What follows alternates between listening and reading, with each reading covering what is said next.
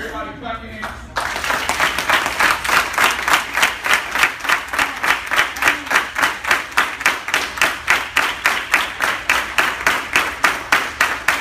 Repeat after me, say, "I."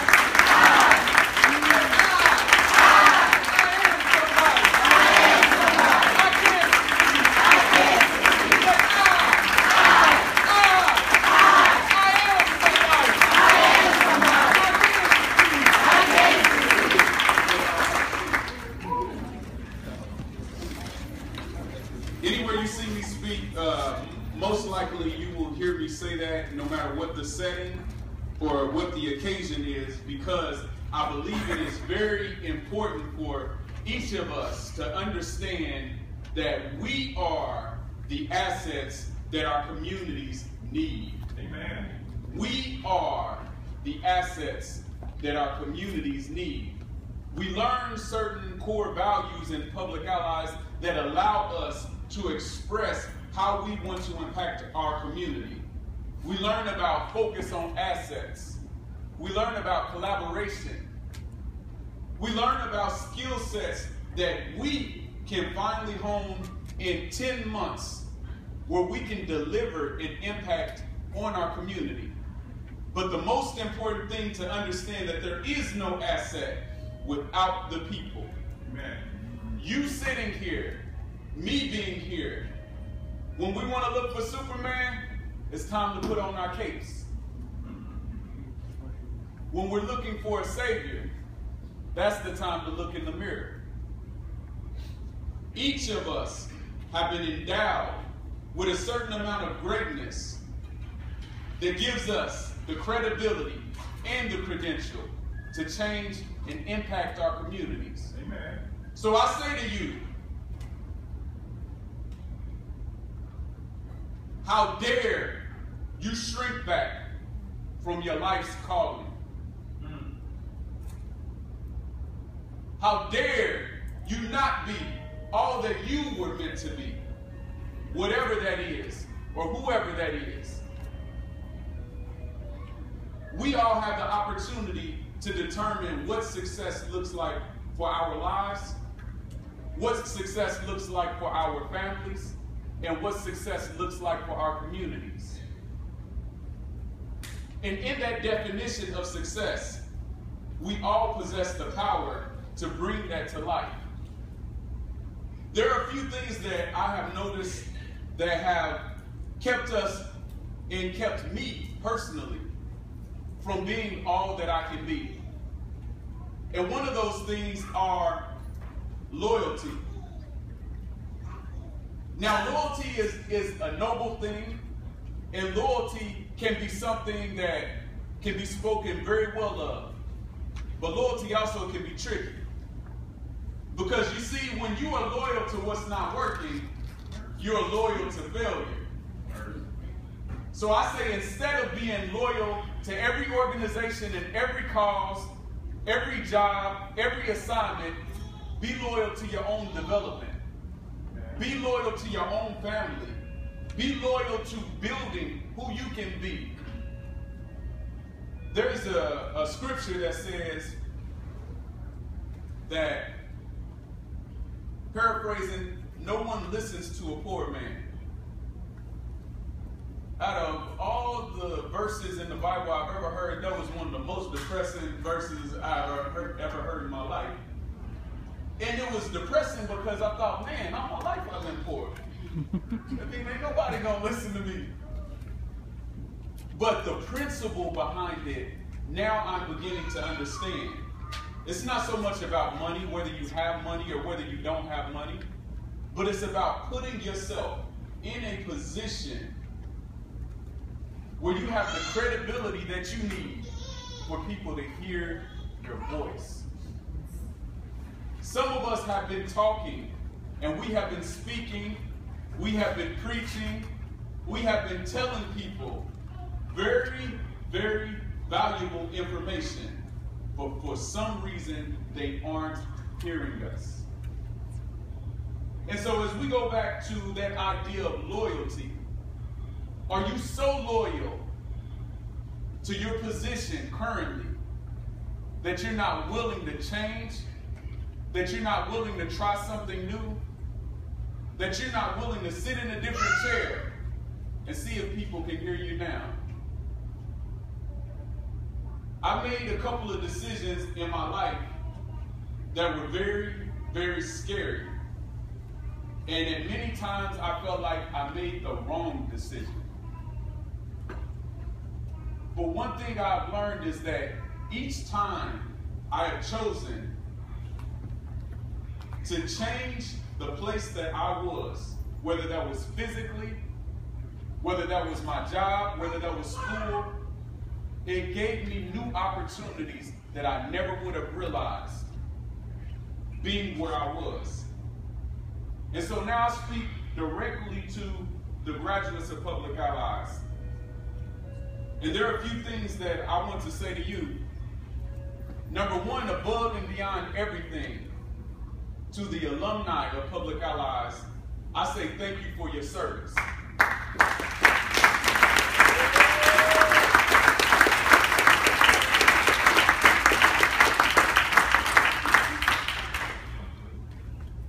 I rode a plane or flew in a plane or sat in a plane. I did something with a plane to get here. I was on a plane on my way here, and at the airport, there was a gentleman who was very, very, very, very, very, very proud of his service uh, in the United States Armed Service. And he spoke ad nauseum about the different activities that his uh, platoon were doing, and he talked a lot about his time in the service, and he wanted to make sure that everyone knew that he served.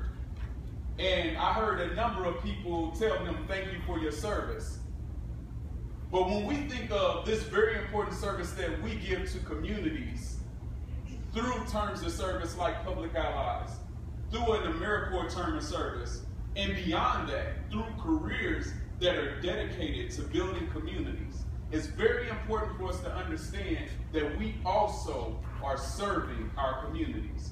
And it's very important for us to realize and recognize that we deserve to thank each other for our service. Amen. I stand here before you as Casey Bridgeford, a Wharton Fellow, an entrepreneur who was tapped by Microsoft to launch a business serving high growth businesses on the African continent, a summer analyst for the Bank of America, an Ivy League student, a former White House Initiative My Brother's Keeper advisor, one of the founding program managers of Public Allies, which has been responsible for launching the careers of more than 150 young professionals, an International Honor Student Honor Society member. All these things speak to some of the great opportunities I've been afforded. But those opportunities did not come without setbacks. In 2007, I was sitting in a jail cell, wondering, will I ever fulfill my potential?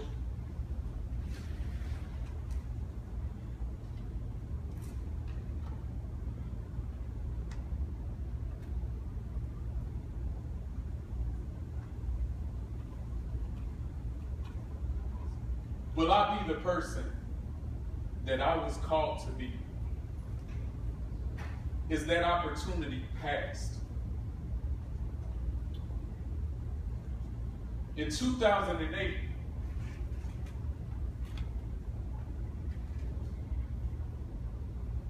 I had a magnificent failure in business.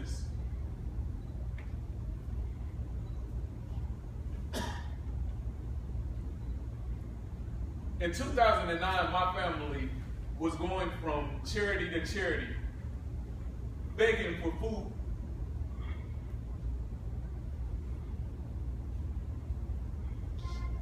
Several eviction notices. Our vehicle repossessed. In 2009, I sought the help of a local pastor.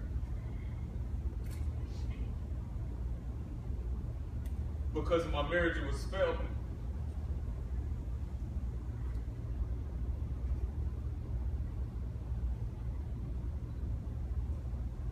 I've had major setbacks.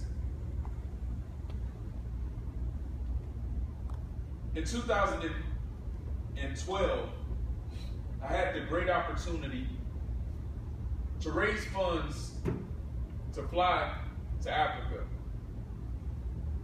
to meet my biological father,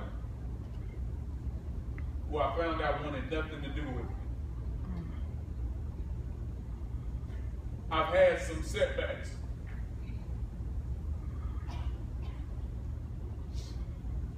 In 2013, I moved my family from everyone and everything that we had known all our lives to a roach infested, rat infested place on the other side of the country. Immediately feeling like I made about the biggest mistake of my life. I've had some setbacks. Why am I telling you this? Because I have the, the gnawing feeling that you sitting here, you've had some setbacks too.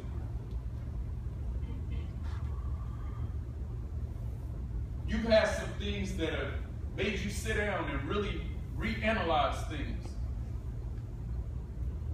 You've had some moments in your life where you thought, man, did I make the right choice?